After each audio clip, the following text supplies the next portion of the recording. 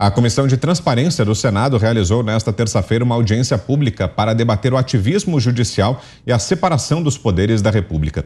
As apresentações dos parlamentares e convidados apontaram críticas a ministros do Supremo Tribunal Federal e indicaram dúvidas sobre a transparência do sistema eleitoral. O jurista Ives Gandra Martins foi um dos primeiros a se manifestar na audiência. Para ele, o ativismo judicial já segue em estado avançado na sociedade. Nós estamos vivendo um momento em que o Poder Judiciário se transformou no superpoder da República, tendo o direito de corrigir os rumos do Executivo, como dizia o meu querido amigo Luiz Roberto Barroso, ou legislar nas vácuos do Legislativo, sem perceber o silêncio eloquente que muitas vezes o Legislativo faz, porque eles é que representam o povo. Ivan Sartori, que presidiu o Tribunal de Justiça de São Paulo entre 2012 e 2014, também fez críticas ao judiciário e pediu a defesa da democracia. Existe sim um ativismo mais do que judicial. Está existindo um ativismo político, com todo o respeito que merecem os ministros. E nós não podemos aceitar isso, que o Brasil caminhe para essa, essa, esse rumo. A democracia tem que ser ressalvada. Tanto o ministro Luiz Roberto Barroso quanto Alexandre de Moraes foram convidados a falar na audiência, mas se recusaram a participar. A ausência dos magistrados foi lamentada pelo senador Regufe, que preside a comissão. Abra esse giro com você, Roberto Mota, que achou da realização dessa audiência, Mota, e das ausências dos ministros Barroso e Moraes. Muito importante essa audiência, Abraão, porque é grande a lista de princípios legais que foram violados pelo ativismo judicial recente no Brasil. Como eu sou engenheiro, não sou bacharel em direito, eu vou me socorrer aqui da ajuda de outros que produziram essa lista, né? Alguns desses princípios é, legais e constitucionais que foram violados são o princípio de que o inquérito não pode ser aberto de ofício pelo judiciário, de que a vítima não pode ser também acusador e juiz da sua própria causa, de que não existe lei sem, não existe crime sem uma lei anterior que o defina. Por exemplo, nesse momento, tem um deputado aqui do Rio de Janeiro sendo acusado de cometer o crime de violência política de gênero. Tá? A lei não pode retroagir para prejudicar o réu. Os parlamentares têm imunidade por seus votos e suas palavras. As punições não podem ser mantidas quando a pena que deu origem às punições é extinta.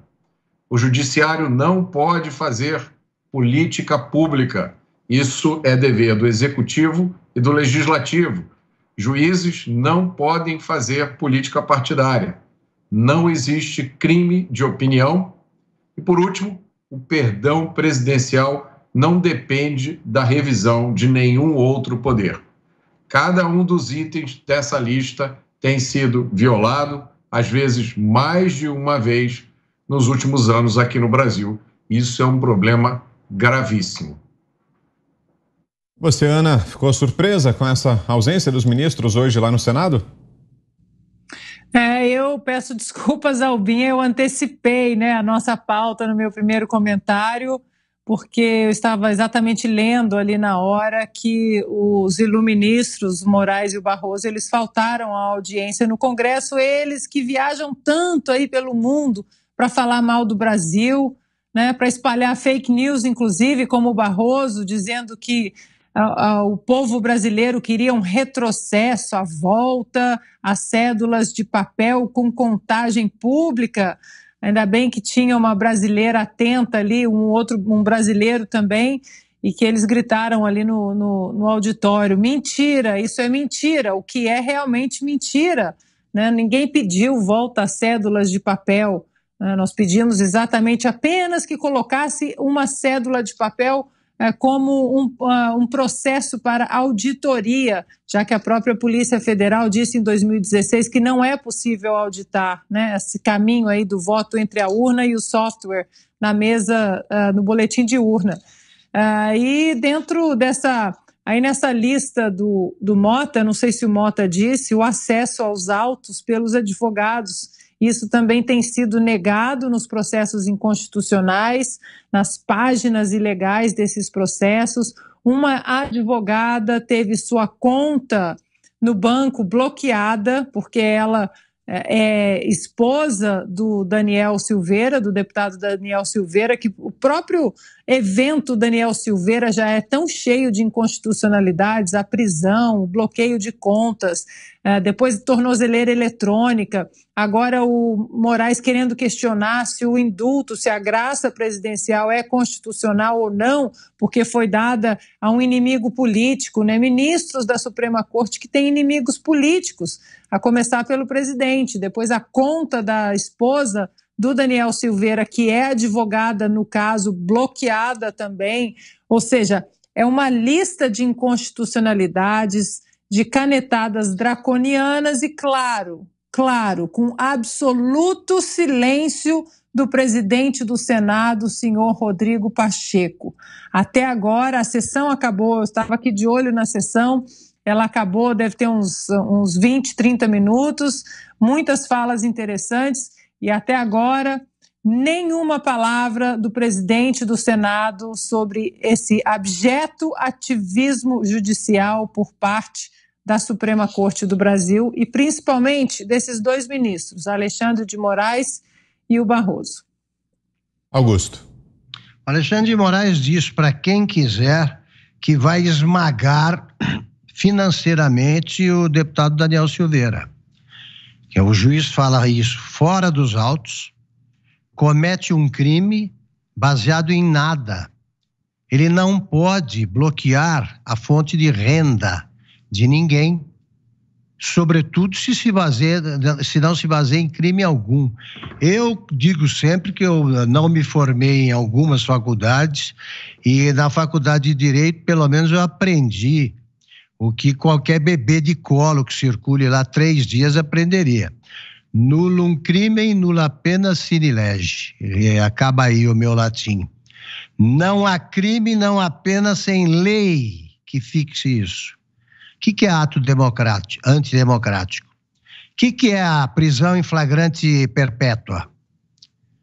O que, que é, é você ameaçar a democracia? Como é que você justifica a, a, a omissão do motivo pelo qual deveria existir aquele processo? Faz três anos que o processo do fim do mundo, que é o processo da pouca vergonha, circula por aí. Eles não foram a essa audiência por insolência, a mesma insolência que faz com que eles deem 72 horas para o presidente Bolsonaro explicar por que mudou de penteado.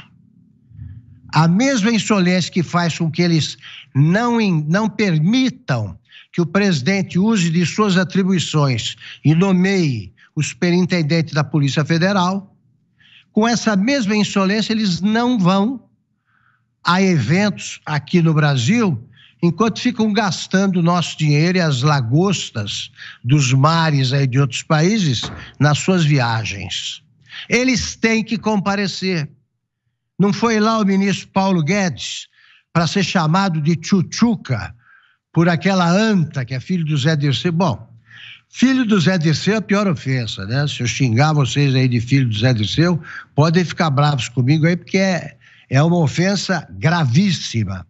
Então é o seguinte, o Zé Roberto Guzzi escreveu há pouco tempo na revista Oeste uma carta, uma reportagem de capa definitiva com o título A Árvore Envenenada. No momento em que num caso judicial você já nasce, já começa com a coisa podre, é todos os seus frutos serão podres.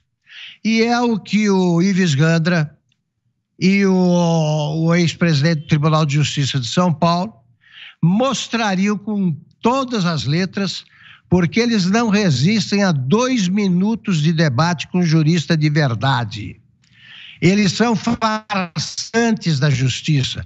E como disse o presidente do Tribunal de, de, de Justiça de São Paulo, ex-presidente, muito mais grave que o ativismo judicial é o ativismo político o Supremo hoje se transformou num partido político, já que é controlado por nove ministros que fazem o que podem e o que ninguém deveria fazer para impedir a reeleição do presidente Bolsonaro? Você, Fiuza, para a gente fechar, temos três minutos. A pergunta que fica é o que é democracia para os ministros Luiz Roberto Barroso e Alexandre de Moraes. O que é democracia? Eles são convidados para uma audiência no parlamento, eles são convidados a discutir o exercício do direito no país e eles ostensivamente não comparecem. Eles ignoram, eles desprezam esse poder da República. Agora, eu pergunto o seguinte: o problema deles é entrar no Congresso? O problema deles é, é passear pelo Congresso? É encontrar os parlamentares? Eu acho que não, porque os dois estavam no Congresso no momento em que a sua missão era atuar para influenciar uma comissão especial de voto auditável para as eleições. Aí eles foram. Eles foram ao Congresso, eles se reuniram com líderes partidários, eles conseguiram, com os belos olhos deles, mudar em 180 graus a posição de uma comissão especial sobre uma matéria eleitoral. Tudo isso, volto a dizer, dentro do Congresso Nacional. Isso não foi uma carta, isso não um bilhete, um e-mail. Isso aí não foi uma videoconferência, isso foi uma visita ao Congresso para esse tipo de missão. E eles não podem ir para discutir a forma como se faz a justiça no Brasil. Naquela ocasião, nós vimos o ministro Barroso andando pelos corredores, ali cercado de áulicos, e contando piadas. Ele estava muito à vontade nos corredores da Câmara dos Deputados. Ele estava dizendo, inclusive, que eleição não se ganha, eleição se toma. Era uma piada, aparentemente, e eu pergunto: que ambiente é esse para se fazer uma piada e rir de uma piada dessa, sendo ela proferida por um ministro da Suprema Corte que está no Congresso Nacional? para se encontrar com líderes partidários e mudar suas posições sobre uma matéria eleitoral. Eu até hoje não entendo a irreverência daquela situação, a descontração daquela situação que tratava de matéria eleitoral.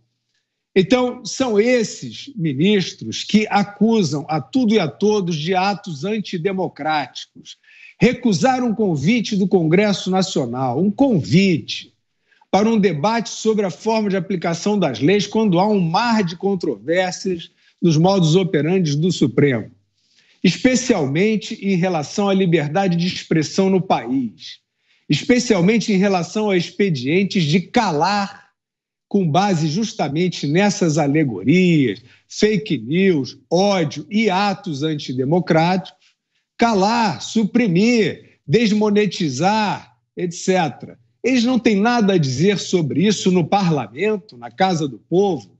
Então, a noção de democracia dos senhores Alexandre de Moraes e Luiz Roberto Barroso fica um pouco difícil de se, de se presumir é quando recusam esse, esse convite, esse convite. Agora, de fato, a pergunta fica para o presidente do Senado.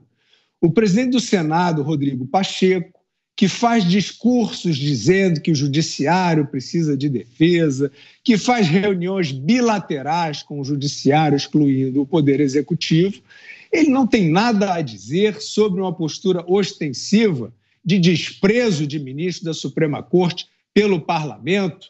O que, que é isso? É uma sujeição ou é algo mais que a gente não, não pode presumir?